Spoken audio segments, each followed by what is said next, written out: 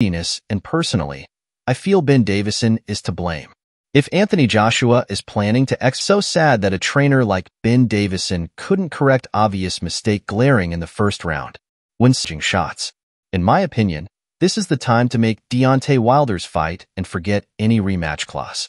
Please watch till the end as I analyze obvious mistakes Anthony Joshua made and Ben Davison failed to correct.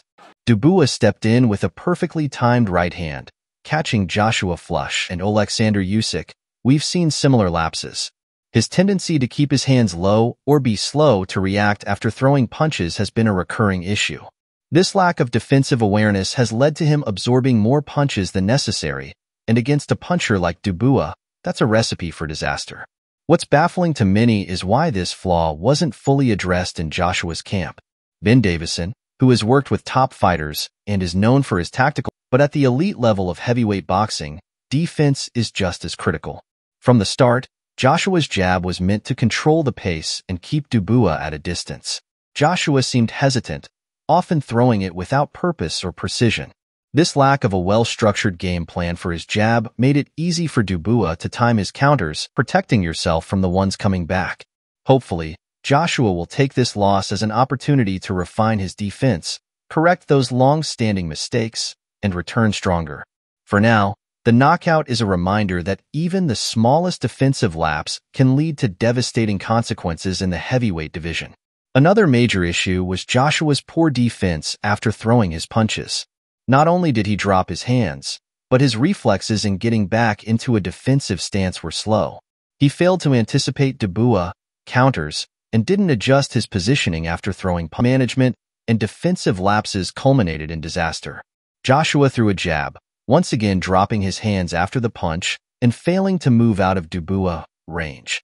Dubois saw the opportunity and landed a devastating right hand, perfectly timed to exploit Joshua's defensive negligence. The punch connected cleanly, sending Joshua to the canvas and effectively ending the fight. It's important to ask why these issues weren't corrected in Joshua's camp, especially with a trainer like Ben Davison who is known for his tactical expertise. Joshua's inability to adjust his timing, to properly manage the distance, and to protect himself after throwing punches are fundamental flaws that could have been addressed in training. Moreover, Joshua's jab, a key weapon in any boxer's arsenal, lacked purpose. Instead of using it to control the fight, set up combinations, or keep Dubois at bay, Joshua seemed unsure of how to implement it effectively. There was no clear plan for how to use the jab beyond keeping Dubois away momentarily, which wasn't enough to prevent the onslaught of power punches that followed. Dubois, sensing this uncertainty, continued to press forward. He read Joshua's intentions, understood the timing, and punished him for every mistake. Joshua's defensive lapses, combined with his failure to close the distance or impose a proper game plan with his jab, opened the door for Dubois to land the knockout punch. The fight between Daniel Dubois and Anthony Joshua will undoubtedly be remembered for one thing the devastating knockout. But what many fight fans and analysts will point out is how this knockout could have been prevented.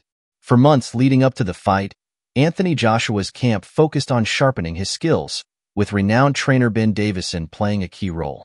Despite this, there was a glaring flaw that was never fully corrected. Joshua's tendency to drop his hands during exchanges and his overall defensive lapses will need to reevaluate these aspects of his training if they want to see him return stronger and more prepared for future challenges. For now,